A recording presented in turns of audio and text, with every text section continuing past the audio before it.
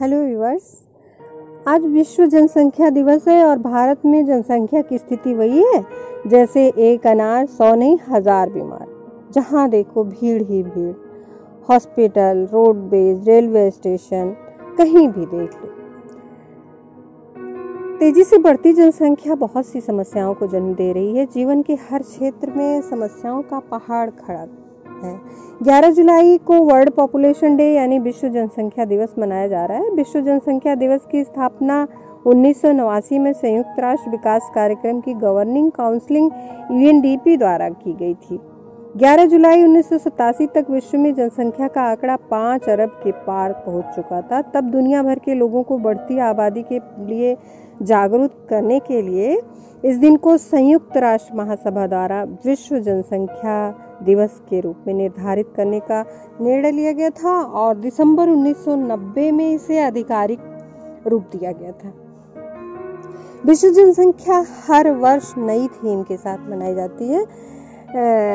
इस वर्ष की थीम है कोविड 19 महामारी का प्रजनन क्षमता पर प्रभाव।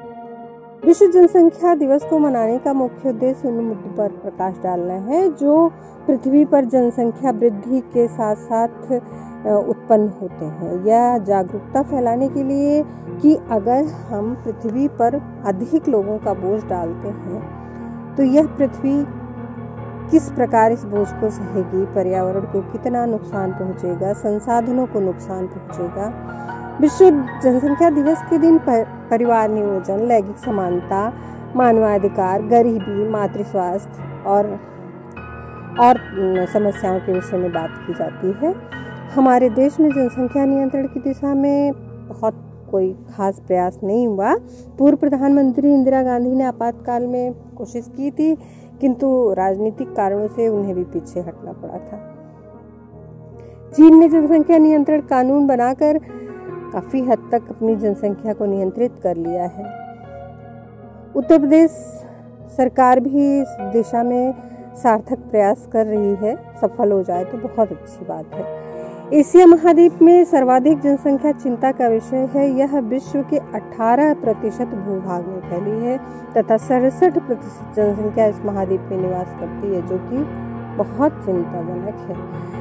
भारत की बढ़ती जनसंख्या के कारण देश में समस्याओं की बाढ़ आ गई है। विश्व की लगभग सात अरब जनसंख्या है तथा भारत की डेढ़ अरब जनसंख्या जो कि विश्व के लिए अभिशाप। आज देश में बढ़ते अपराध, गरीबी, बेरोजगारी, पर्यावरण प्रदूषण आदि समस्याओं का जन्म जनसंख्या के कारण ही। जनसंख्या के बढ़ने का एक कारण भी है कि लोगों का काम चल जा रहा है। सरकारों द्वारा मुफ़्त बिजली, पानी, राशन की सुविधा भी देना है।